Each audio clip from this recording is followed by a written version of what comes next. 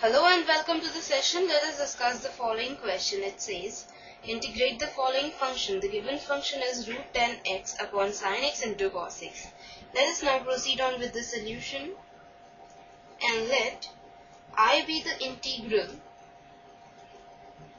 root tan x upon sine x into cos x dx. Now we know that the derivative of tan x is secant square x.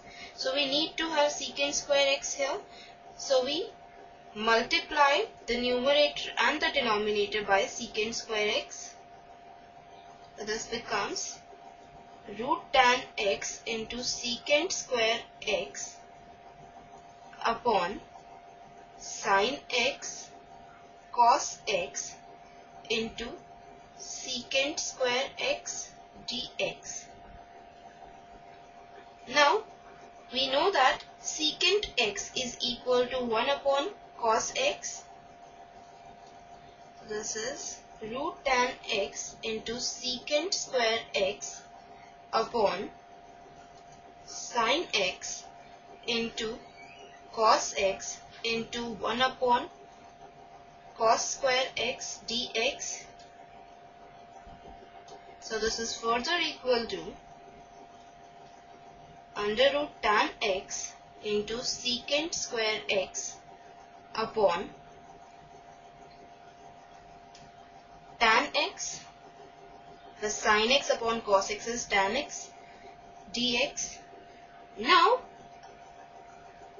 we substitute t for tan x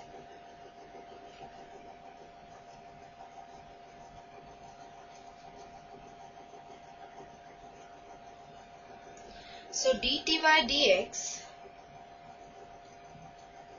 is secant square x and this implies dt is equal to secant square x dx. So secant square x into dx is dt. So substituting all these values in the integral so the integral becomes under the root t dt upon t which is again equal to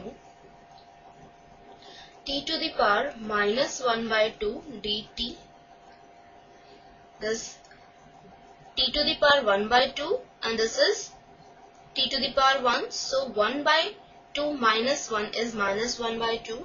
Now its integral is t to the power minus 1 by 2 plus 1 upon minus 1 by 2 plus 1 plus c which is again equal to t to the power 1 by 2 upon 1 by 2 plus c. So this is equal to 2 into root t plus c. Now t is tan x so this becomes 2 into root tan x plus c. And here we have applied the formula for the integral of x to the power n dx which is equal to x to the power n plus 1 upon n plus 1 plus c.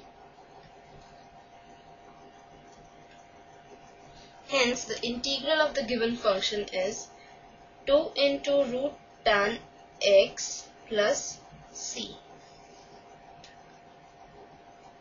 And this completes the question. Bye for now. Take care. Have a good day.